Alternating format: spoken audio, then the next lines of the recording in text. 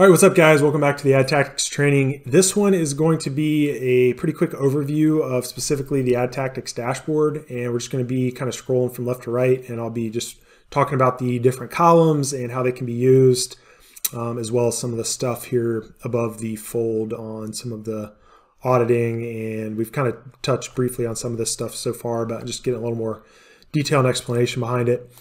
So first off, let's discuss the uh, let's go keyword dominator stuff because that's kind of furthest to the left. This customized view area here, you can actually check whichever sections you want to display or not display and click this little blue icon here. And then it's going to hide the ones that you don't want to uh, or that you don't care to see. So uh, know that that's there. The uh, little readouts here you see is going to be always for the active range. So if I, you just apply filter like I just did, you can see it kind of changed all of the, the relevant keyword metrics. And these are uh, rank range thresholds that you can actually set here on the settings tab.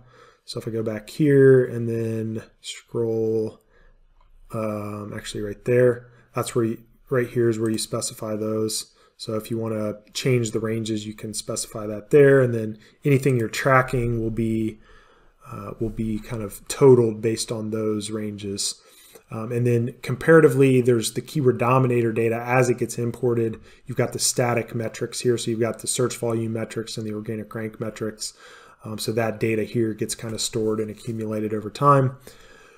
The keyword dominator data, though, you can see you've got uh, essentially it's all static data that gets imported. We showed that in the previous video. You've got your, your title density and then all these other Cerebro related metrics. The one thing I wanted to show here is there is a section that can slide out if you hit this little plus button and it's got your SKU. It's also got a nickname field here if you'd rather view your products uh, by nickname. So to set the nickname, you actually got to go back to the settings tab and you can see this yellow section that says customize product list.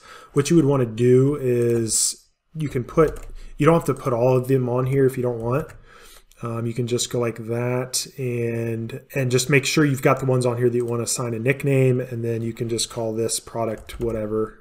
You can just call it whatever you want. So if you got a special name you refer to it by and then the next time you sync it with the button right here, um, it's going to actually populate that nickname for you. But I tend to not use it. The other thing there is the tag and the notes. So um, you can put inline notes in the cells. You can tag this depending on you know whatever type of, of keyword it is. If it's a misspelling or whatever, you can call it whatever you want. You can also right click on these cells. You can insert notes this way. So a lot of different options.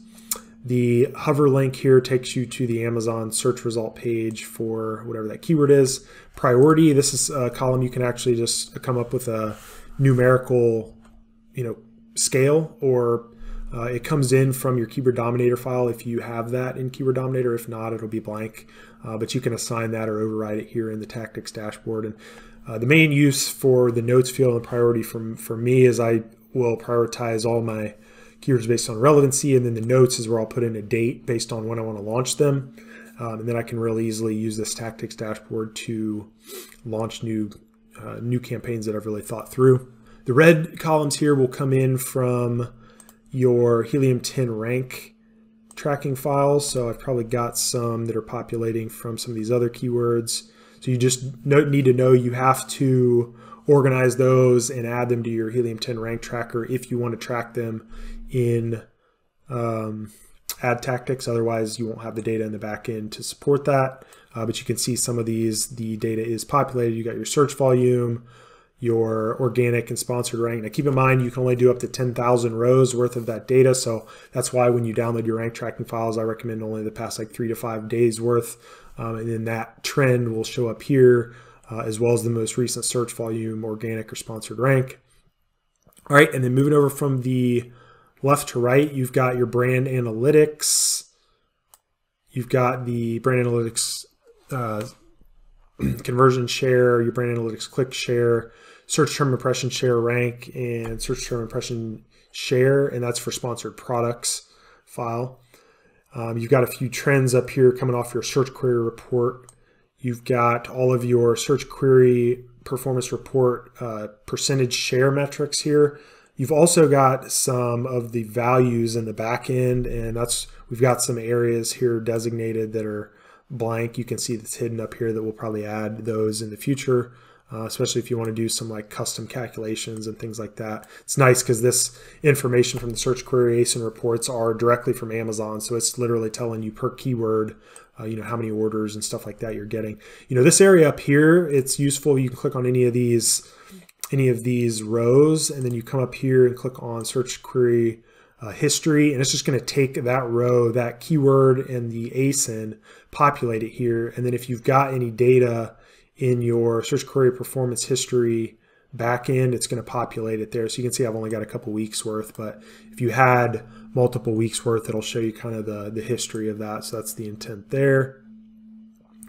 Uh, we went over the search term report keyword section in a previous video, but it's essentially if you use this feature to harvest new keywords and bring them into the tool, it's gonna it's gonna dub it as uh, ST as far as the list type. It's also going to capture your uh, instantaneous kind of metrics there based on whatever search term report you had. And that's just there for reference if you want to sort it and say you had one that was just doing really well and you wanted to go back in the future and, and see what that was, you'd have that data there. If you don't intend to use this feature, you can always hide it again just by deselecting this and just clicking this here to hide that kind of pane. And from here on, it's mostly ad related information. So for here, the first section in green, you see your sponsored products totals, and this is all of your metrics coming directly from your sponsor product campaigns tab.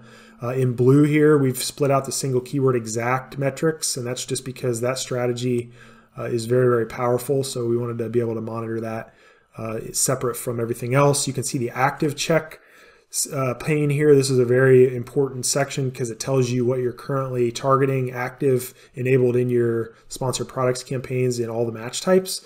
So you can use this to filter really quickly and just know what you're not targeting in versus uh, if a number other than one shows up, that means you've got a duplication.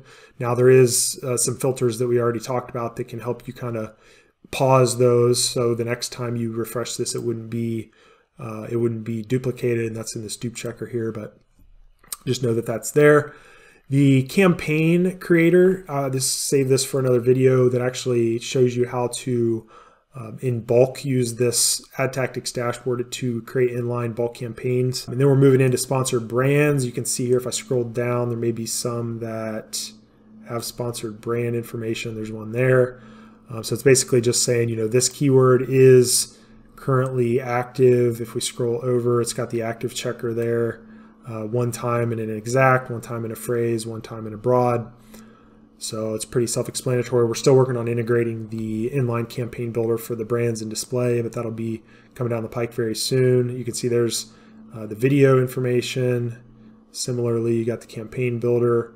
All right, and then very similarly with the sponsored display, if I had any ASINs that I was tracking, they would be showing up there. And then you've got all your combined totals for all your ad types. So this is just a way you can kind of sort and filter by those metrics as well. All right, guys, so hopefully that makes some sense. Just to kind of re-summarize, the main focus of the AdTactix dashboard is to get all your keywords in one place, to have it really organized per ASIN, allow you to kind of sort and filter. The auditing tool up here, which again, it's this button here, I went over that in the previous video. And that's going to give you a really accurate breakdown from a bunch of different slices of your sponsored products, brands, and display sheets so you can see what's working well. And the whole intent there of having it above the fold is so you can use it to plan out what your next kind of round of keywords that you're going to launch in your campaigns. And once you've kind of used these columns over here to specify what those are going to be and plan them out, then you have a really efficient way to build out the campaigns in bulk. All right, guys, so that's going to about do it for the AdTactix overview video. I will see you guys on the next one where we're going to be going over the bulk campaigns. See ya.